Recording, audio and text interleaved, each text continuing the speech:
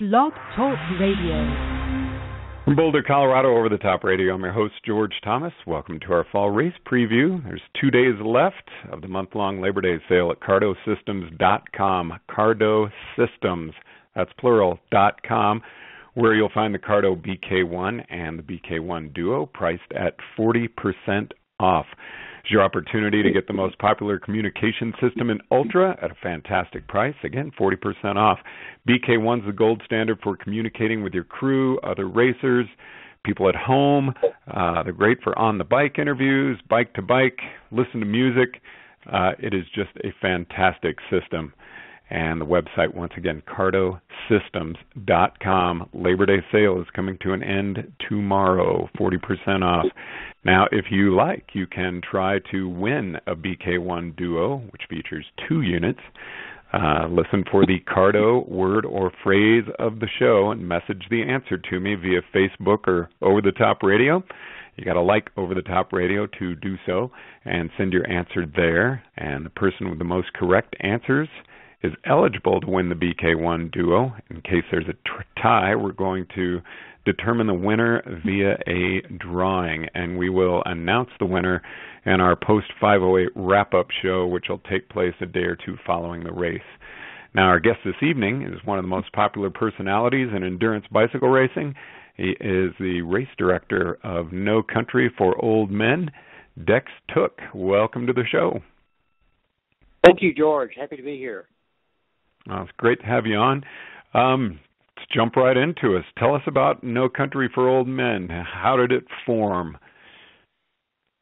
Well, No Country for Old Men born is born of RAAM. Uh, I'm a RAAM veteran, and I believe that the West Texas region is one of the best kept cycling secrets there are, and I wanted to have a race out there. And so back in 2012, uh, No Country for Old Men was formed. The name stems from the movie, of course, and it's because a lot of the filming of that movie was done in the region, uh, in the West Texas region. Uh, I wanted to have a, uh, a, it was my race, so I could do it the way I wanted to. So I had a 383 mile race because that was my RAAM number. And then after the initial year, uh, and we had Marko Baloh come out that year and just destroy the course. It's a beautiful area, lots of climbing, very challenging and Marko came out there and scalded the course. And so then in 2012, I decided to add another distance to it, uh, the 208 mile race. And at that time, uh, it became part of the Texas Ultra Cup Series, and it also became a RAAM qualifying. The 383 became a RAAM qualifier, and we had a pretty good turnout in, in 13 and a guy you may have seen in the ultra race news lately by the name of Scott Leuckart came out and scorched the 383 in 2013. In fact, his time and Marko's time were very close together, except they were on different, a little bit different routes. But then in 2014, I decided that why not have a thousand mile race? Uh, I believe that's a distance. Right now, there are 500 mile ultra races all over the nation, and they're all good races, uh, all different kinds of formats, and they're all excellent races. But really, if a person has done a 500 mile race and wants to challenge something more, there's really not anything else out there over the 500 except RAW. And so I decided to introduce the 1,000 mile race. And I had two target areas when I did that. I was targeting the the ultra racer that races 500 and wants to challenge himself more, and of course, I was also targeting the Race Across America uh, prospects that want to be able to do a race, a training race prior to RAAM. When I did RAAM, uh, I did a I did a RAAM mock training ride every month for about the last four months before RAAM, and it was strictly a training ride where I took my crew out and I took my follow vehicle out. and We mocked it up just like we were doing RAAM, and we did extensive rides uh, that extended into the 600 mile range where you actually had to get into some sleep deprivation and go down for a sleep and then get back up and ride again.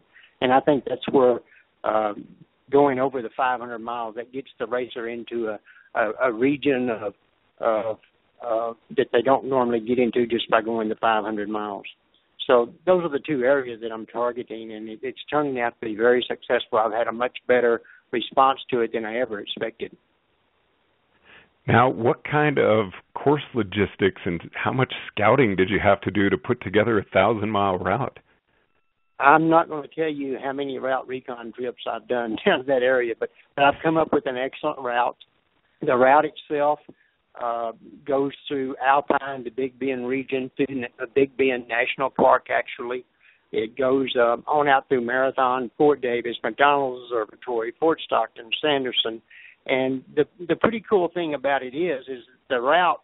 Even though you do travel some of the roads uh, more than one time, you don't travel them the same direction. So, in other words, if you go from uh, Alpine to Marfa one direction at one time, you'll the next time you come through there, you'll come back the opposite direction, and it, it is challenging. There's a lot of climbing. I think uh, the ride with GPS shows it at about a little over 41,000 uh, vertical feet of climbing. I'll be interested to see how that compares to some of the racers after they finish the race to see what they have. Uh, it is a challenging course. You can use what's good about it is as a RAAM qualifying and, and training for RAAM. it's a chance not only for the racer to come out and get into that over 600 mile range where he does have to go down for a sleep and do and then have to get back up and ride again. It's also an excellent training for the crew because you know as well as I do that crews come out to Oceanside, California, and they rent an RV. Half of them have never driven an RV. They don't know anything about them, and then they're thrown into the uh, the high pressure and the, all the the excitement of RAAM and being on RAAM itself without ever even having trained or, or trained the crew. By No Country for Old Men is in the most rural, the most remote, the most rugged area you can imagine, uh, and it's an opportunity for a crews to actually come out and uh, learn about leapfrog, learn about direct follow, learn about handoffs in a very rural, remote area, and and and the crew can can uh, actually train just like the racer does. Now it is very rural and remote. How are services out there? What do racers need to bring along, and uh, what about gas availability? I have a sign that I will be posting at the pre-race meeting. It says "Start full and fuel up often, as often as you can," because the services are limited. Uh, there's, uh, but at all the time stations, if you go onto the website and click on the, the leaderboard, it will have all the it will have all the uh, time stations on there. There are services at all the time stations, and by services I mean uh, there will be fuel nearby there will be cell service if they can call in, but there will be a very small window for that cell service because you might get three miles from the time station and have no service. But at the time stations themselves, there are services. So um, it's going to be very crucial for the racers to to call in in a very small window at the time stations. Now your race date's the last weekend of October. What's the weather like out there? What should uh, racers and crew bring, and what should they be prepared for? Uh, the reason I picked October is because I don't have any other month that I can pick for that area. It's the the, the temperatures are are too extreme both directions in any other month. So October is my best window of opportunity. You can expect we'll be racing down in the down in the desert part of the Santa Elena Canyon in Big Bend National Park and Castolon, and you can expect high temperatures in that area uh, up into the 90s and maybe even in the 95. It just depends. We will also be racing up in the Fort Davis Mountains and during the night up at elevations of around 61, 6,200 feet.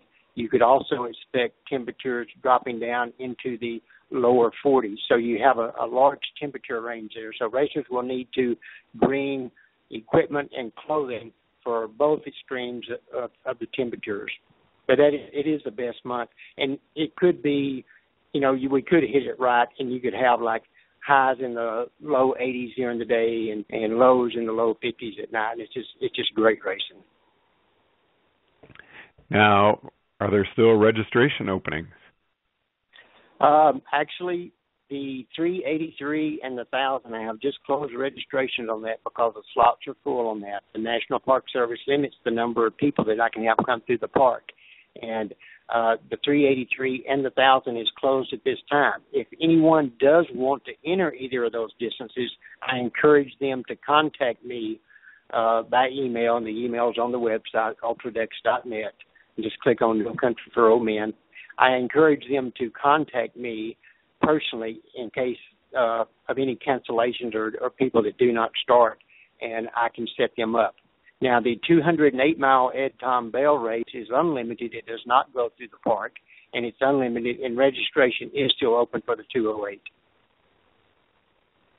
Uh, you are listening to Over the Top Radio. We're visiting with No Country for Old Men race director Dex Tooke, and we are giving out our Cardo BK1 Duo word of the show.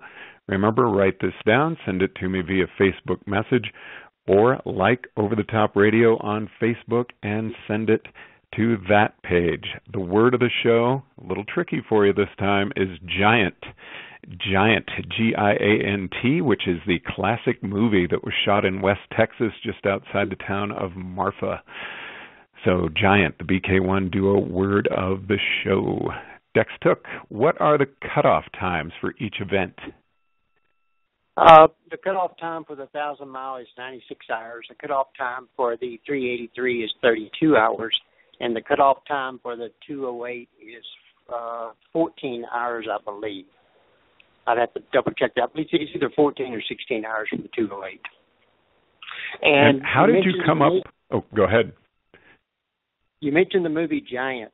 Uh, the route the thousand mile route does go right through Marfa. If you ever get there and, and want to see some really great uh, uh, uh, memories of the giant movie and everything, go to the Paisano Hotel. It's just great, all the different things they have in there. And I don't know if you're aware, but every year the city of Marfa closes down their main street uh, once a year, closes down their main street. They bring in bleachers for people to sit in they charge people a hundred dollars a ticket, and they come and sit in the bleachers dressed as their favorite giant movie character, and they have a big screen outside, and they all watch the movie again.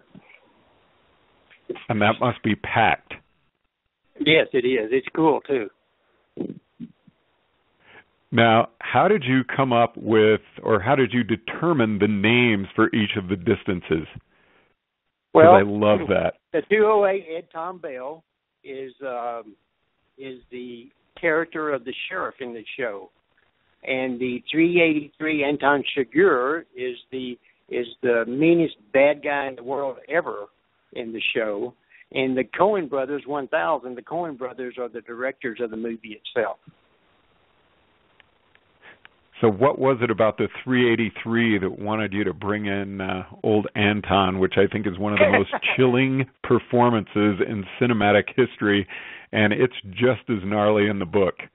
yes, that's exactly why I wanted him to be the 383. He's my favorite. I mean, uh, I have I'm on the I'm on the warm showers for the uh, Southern Tier for all these race uh, cross country guys that come through, and uh, they uh, they come through Alpine and come over, over into Del Rio, and one of the first things they ask about or talk about is that movie and how they stayed at some Warmshowers host in Alpine and watched the movie No Country for Old Men, and they were getting chills while they were watching it.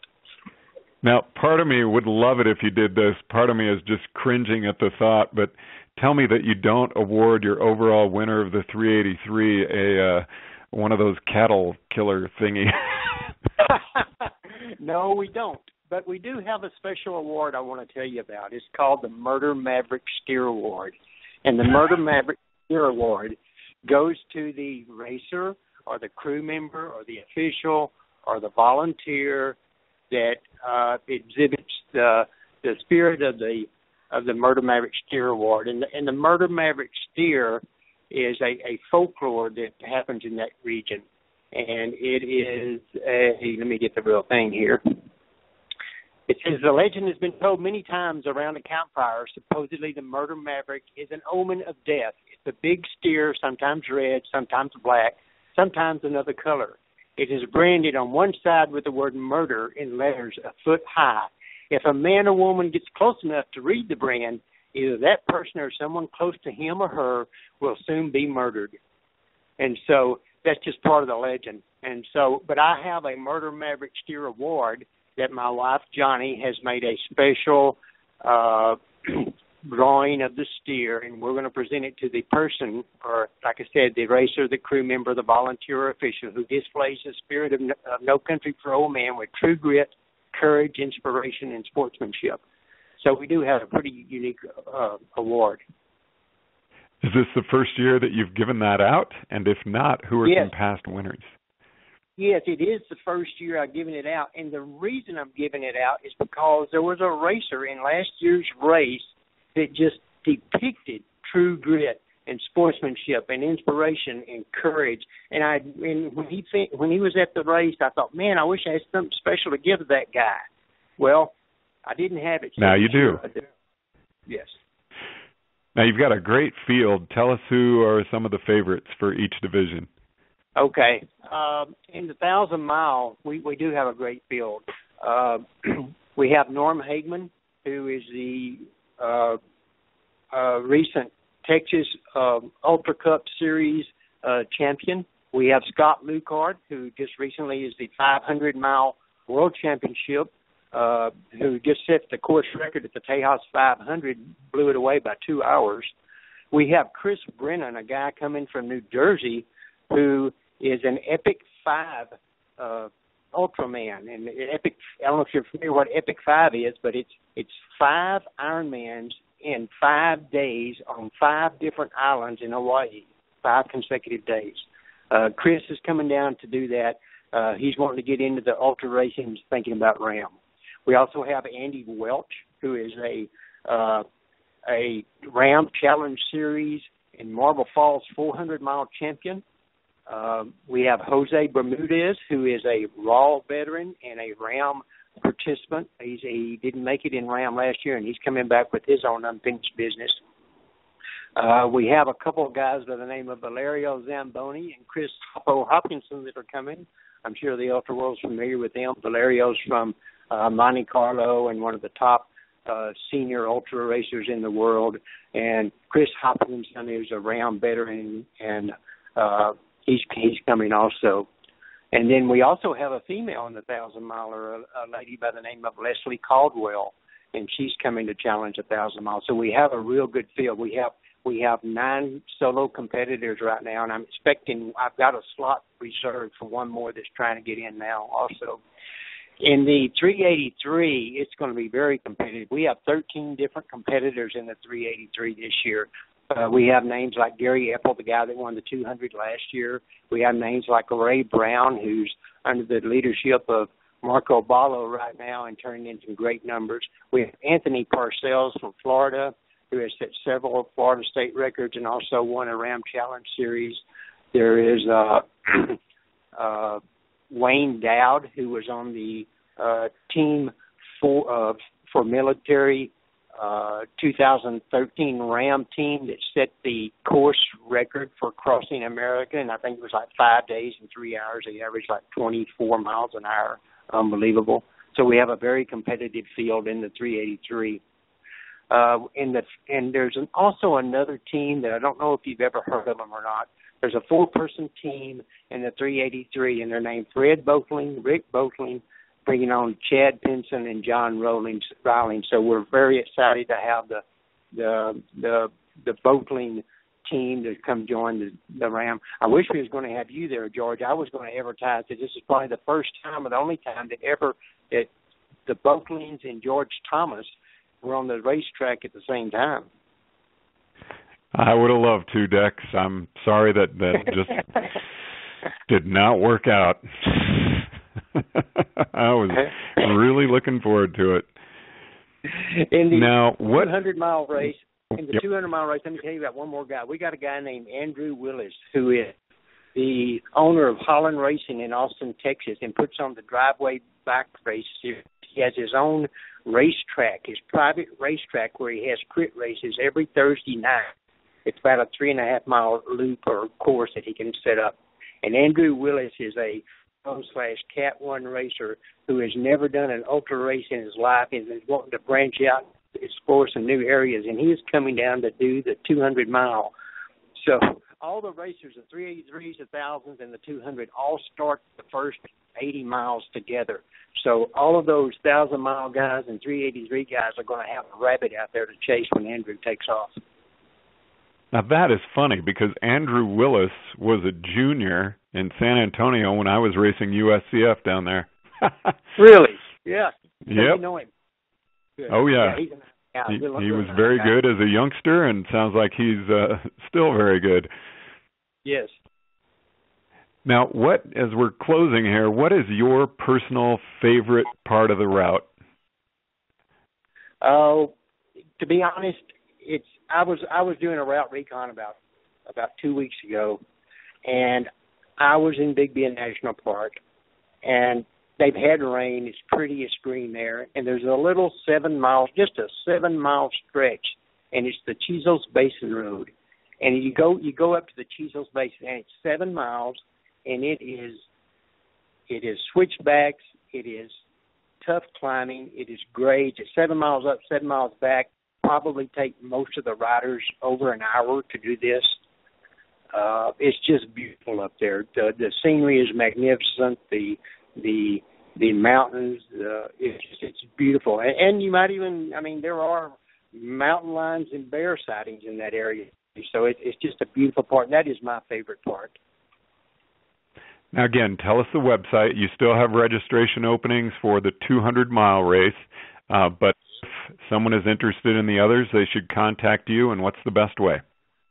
Uh, the best way is go to ultra.net and click on the No Country for Old Men uh, link, and all the information about the races there. Or they can contact me at my email, dextooke at gmail.com. And that's Dex, D E X. Tooke is T O O K E. All right, had a great visit with Dex Tooke, race director, No Country for Old Men, and a fantastic ultra racer in his own right. Uh, once again, want to let you know what the Cardo BK1 Duo word of the show is, which is giant. If you're trying to win that, please send that answer to me on Facebook message or like our page over the top radio. And once you have, you can always send your answers there. Dex Tooke, thanks so much for joining us. Uh, tomorrow we've got Jim Ryan coming on, who's racing the 508 for the umpteenth time, and uh, looking forward to chatting with him. But Dex, it's always a pleasure. Thanks so much. Thank you, George. See you at the 508. I'll be helping crew Dave Hussey. For Over the Top Radio in Boulder, Colorado, I'm George Thomas.